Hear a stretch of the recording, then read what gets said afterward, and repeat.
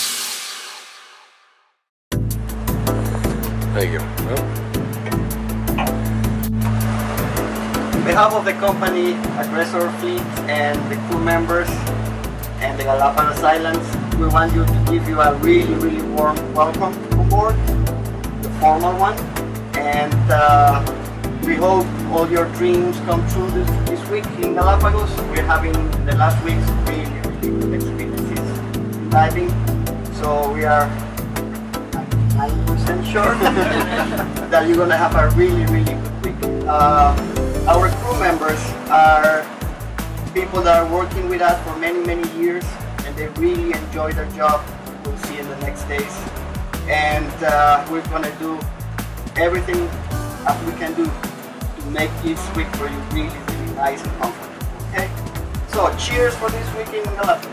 Cheers. cheers for hammerheads and whale sharks and everything.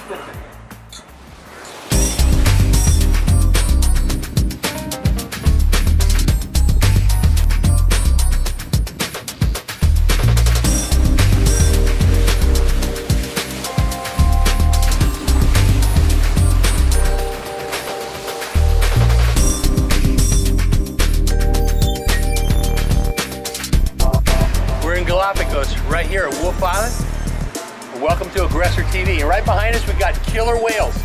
A little baby and maybe four or five others. Check out this big school bird. That's where they're at.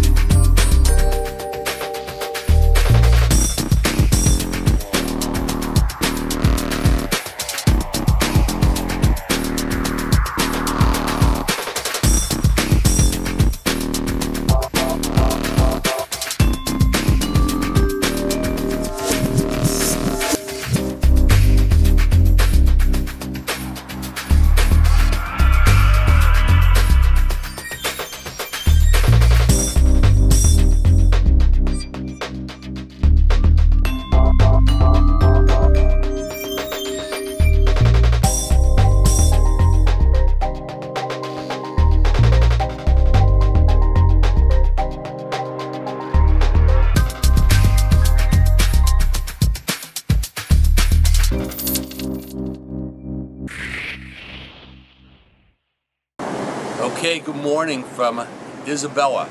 We traveled 15 hours during the night from Darwin, the Wolf and Darwin. Here we are at this beautiful island where we're going to dive, hopefully, with a lot of sea lions. Should be some seahorses down there, uh, the red lip batfish, possibly the mola mola. So what do you say? Let's go take a look at it. Beautiful island. Check this out.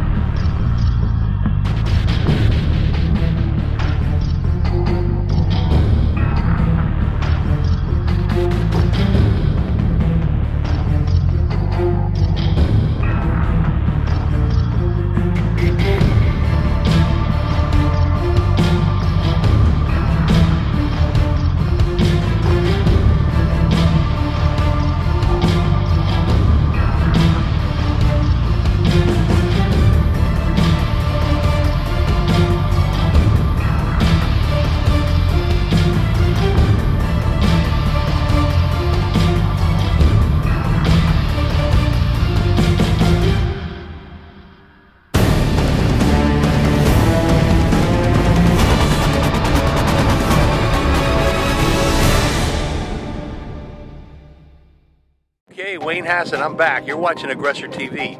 It's been a great week. What can I say? We saw everything.